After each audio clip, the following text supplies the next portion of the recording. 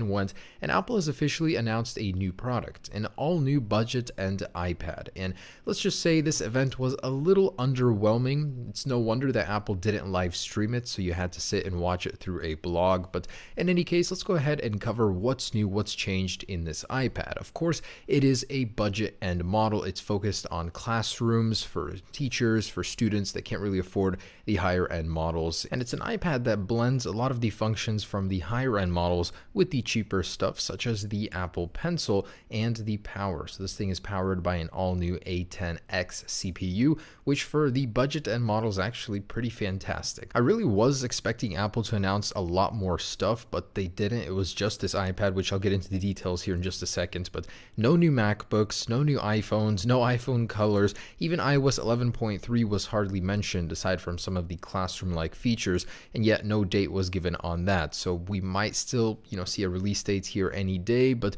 really it's unknown at this point in time. Now, Apple kicked this off by saying that the $329 iPad has been their most popular by far. Classrooms everywhere have been buying them just because of the affordability, and they wanted to continue that tradition since forever they've been already in classrooms with the iMacs and all that. So pretty much Apple has been collaborating with classrooms for the longest time, and they want to keep that tradition alive, keep inspiring kids and all that. And what better way to do that than to introduce an all new iPad where even more is possible for the same amount of money as the previous uh, $329 iPad. The amazing thing is they kept the costs low while including some of the most top end stuff, support for the Apple Pencil, a uh, Apple A10X CPU, which is incredibly powerful. And alongside this new iPad, there's been a lot of updated software, such as smart annotations in Keynotes and presentation software. So in general, it's just been made much more friendly for the classroom as Apple's understanding the needs of most of these students. So in a nutshell, this is the summary of what you'll be getting on this new iPad. Of course, Touch ID, unknown if that's second or first generation.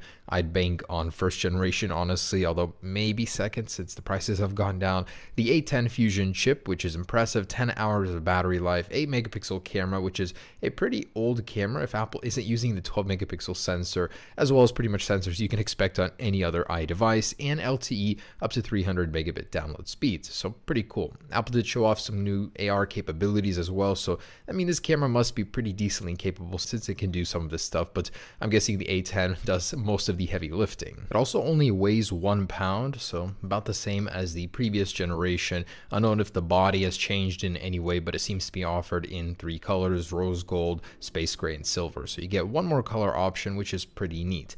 Apple did also talk a lot about classroom features, so class kits where uh, teachers will be able to manage a bunch of students with their Apple IDs very easily. And the amount of iCloud storage that you get has gone from 50 gigabytes to 200 gigabytes for no extra charge, which is nice of Apple to do. And interestingly enough, they did show off some third party cases from Logitech, which is unusual of Apple to do. They usually sell their own at this event. So, pretty much in a nutshell, this iPad is focused on students and it's not very expensive. It can't do too much, but at the same time, it can do a lot of what the higher end models can do for way less. So Apple's strategy is pretty much leave nobody behind, give everyone they need from an iPad, despite what price point you come in and buy an iPad at. So overall, yeah, I am a little underwhelmed, but then again, Apple didn't stream this event publicly for a reason. This is just focused on students and teachers, classrooms, so that they can get a private screening of this new iPad that's focused towards them. In any case, still pretty cool of Apple to do this. I could certainly see Apple applying the same strategy to a budget end iPhone, whether that be the iPhone SE2 or the new LCD model,